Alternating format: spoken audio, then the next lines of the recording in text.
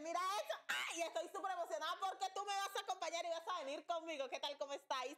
Ya te saludo. Espero que sí. Así que nada, vamos a comenzar. Voy a iniciar midiéndome los tips. Voy a estar utilizando estos que son de la marca Bejow. La verdad, estos me súper, hiper, mega encantan. Y lo primero que voy a estar haciendo es ir retirando todos los tips, irlos midiendo para posteriormente irlos pegando con esta resinita. La verdad, esta resina nunca me falla, ¿ok?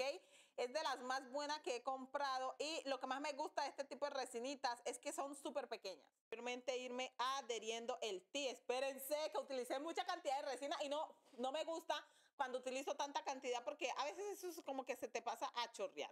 Entonces nada, vamos a ir adheriendo la uñita postiza. Ok, aquí vamos. Esto es todo lo que está bien en esta vida. Mira eso, así ya me quedaron los tics completamente adheridos, bien chéveres, por cierto, demasiado chéveres. Oh, wow, mi imagen se como un poquito negra. O sea, ¿ustedes están de acuerdo conmigo o no? Advirtiendo aquí mi cantidad de monómero, o sea, no voy a estar aplicando mucho, la verdad solamente voy a trabajar como que con una poquita cantidad, aplicándola aquí donde viene siendo la unión. Voy a aplicar de ahí donde viene siendo la unión de mi tip y la uñita natural. O sea, esto tiene como unos destellos. O sea, me acabo de dar cuenta que este acrílico tiene destellitos. Como que no le había puesto cuidado a eso, pero bueno. Estas uñitas ya vi que van a quedar como un tanto transparentosas. En realidad me las quiero dejar así como un tantito transparentosas, pero solamente es por el tema de que le voy a estar aplicando un esmalte ahora y voy a estar haciendo diseño y no sé qué cuántas cosas más. Entonces siento que esta es la mejor manera de ir aprovechando todos mis productos, porque este tipo de acrílicos yo en realidad casi no los uso. O sea, ¿para qué te digo mentira, reina? Entonces vamos a ir aplicando a esto, que es básicamente aquí la unión del tip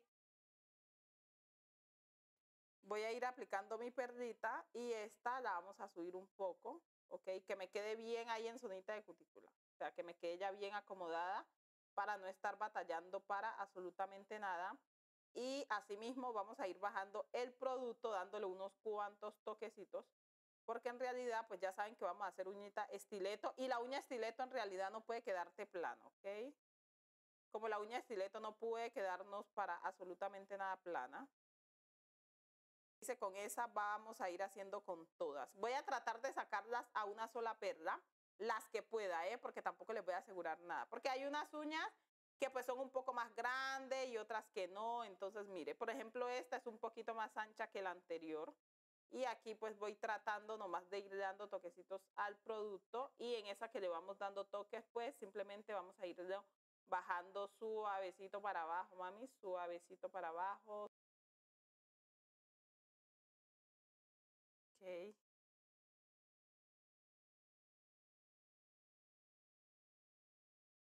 Estas cositas. O sea, tengo ahí como una, unas puntitas ahí todas súper raritas. O sea, no sé por qué tengo eso así, pero bueno. Ahorita arreglamos con la limada. Y mientras voy a bañar el pincel en alcohol, porque técnicamente uno a veces dice, no, es que yo ya limpié el pincel. Mentira, mientes con todos los dientes, chica. Mira eso. Es que este monómero tiene como suciedad. Entonces, como que lo limpié, pero obviamente no lo quiero dejar con eso porque como ese monómero está sucio, pues eso se me va a pegar en el pincel. Así que el alcohol, no hay nada que el alcohol no saque. Y voy a empezar a darle forma acá lo que viene siendo la punta de la uña. En este punto es importante resaltarles que yo voy a estar utilizando mi máquina pulidora para hacerme la vida más fácil. Porque es que tampoco uno, tú sabes, uno no puede tampoco pues estar abusando de la lima, chica, porque uno se cansa.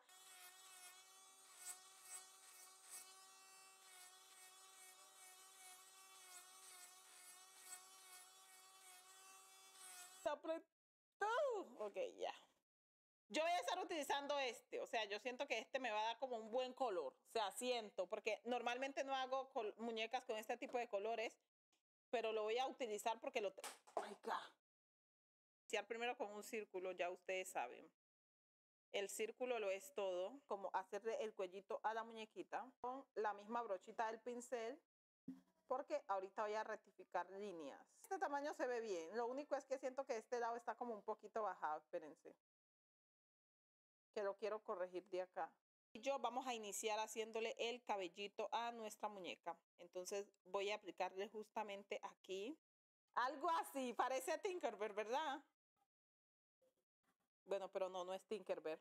Mega rápido voy a utilizar mi blanquito y vamos a repasar este French que he hecho. Solamente de este French solamente quiero repasarle así como la linecita arriba. Grande, o sea, quiero unos ojitos bastante grandes. No, primero voy a hacerle el trazado a este, que es lo que más se me va a demorar. Entonces, aquí donde tenemos el rojo, ok, déjame, ok, a esa lista, voy a quedar así el amarillo. Luego de ese vamos a esta parte de acá arriba y le voy a hacer uno. O sea, no tiene que ser muy largo ni tampoco tan corto, pero sí un pincel que ayude. Que voy a pasar a hacer va a ser en tono rosa para donde la necesito. Vamos a bajarla y la lleno ahí. Voy a hacer otra. Entonces, varias cosas.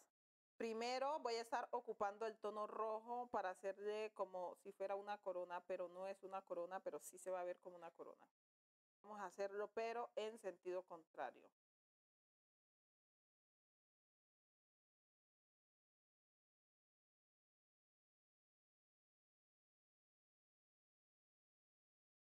Como que de ahí va colgando las esferitas de Navidad y eso es lo que voy a tratar de hacer. Entonces aquí ya le voy a ir haciendo estos piquitos hacia la partecita abajo.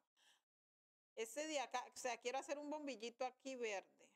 Hacerle lo que viene siendo el delineado de negro. Lo único es que, lo único aquí en estas líneas es que toca irlas curando, porque si uno no cura esto, pues ya saben.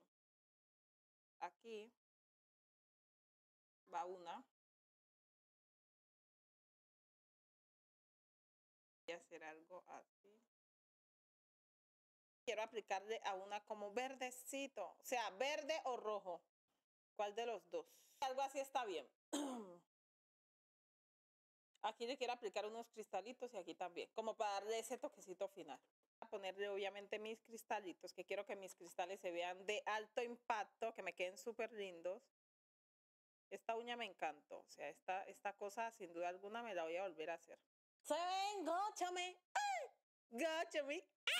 Miren, así es como vamos. Voy a aplicarle los cristales, pero antes me toca limpiar estas uñas porque esto deja capa. O sea, este brillo que tengo deja capita inhibición. Así que lo más importante aquí es que después de que salen de lámpara, uno pasa con un poquito de alcohol, un pañito y pues le va limpiando la capita inhibición que tú sabes que no la puedes dejar ahí por nada. Que no sé si tenga mucho que ver o nada que ver con el tema de Navidad, pero se lo voy a aplicar por la sencilla razón de que es importante para mí amarillo. Porque ya ven que en esta uña tenemos partecitas amarillas y la clave de aplicar los cristales de colores es con la única finalidad de que me dé así como ese toque de luces. Ven, porque aquí las lucecitas me le va a dar como ese toque multicolor. Aceite de cutícula de millonaria. Ay, mami. Súper, hiper, mega espectacular todo esto. Miren así, qué lindo. Wow. Y mira esta belleza. No, es que quedan divinas. Estas uñas quedan muy lindas. Mira qué lindas se ven las uñitas en esta cámara, o sea, se ven súper espectacular, me quedaron de alto impacto. La verdad me súper, hiper, mega encanté el resultado final y espero que a ti también, mami, porque yo, tú sabes, yo vengo aquí es para que a ti te guste y te encante lo que yo hago. Así que si te gustó, no te olvides de darme manito arriba, yo me voy a comentar, ah, compartidísima, qué decir, chicas y chicos, voy a despedirme, espero verla en un próximo video. Las quiero mucho. Bye, bye, chicas.